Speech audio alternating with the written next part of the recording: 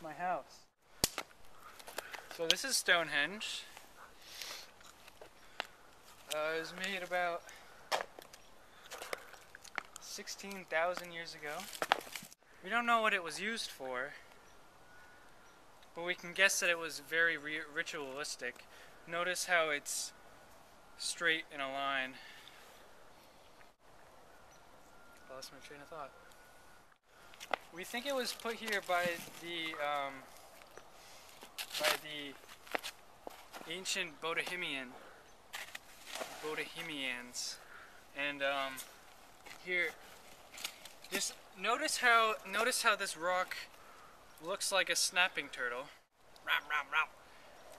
And snapping turtles are indigenous to this area.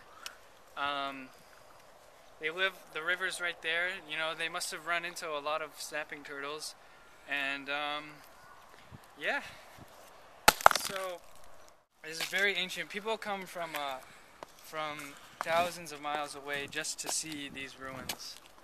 Um, they're really a piece of history, and obviously the Bodoinhamians wanted their legacy to live on forever. So thank you for joining me on Ancient Ruins of Bowdoinham.